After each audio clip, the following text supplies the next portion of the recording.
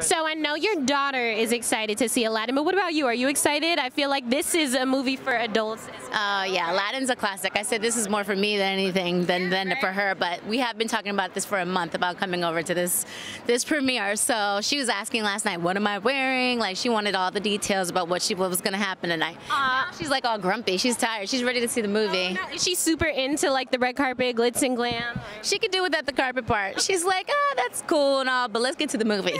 yeah. And what's one thing that you're super excited to see with this remake?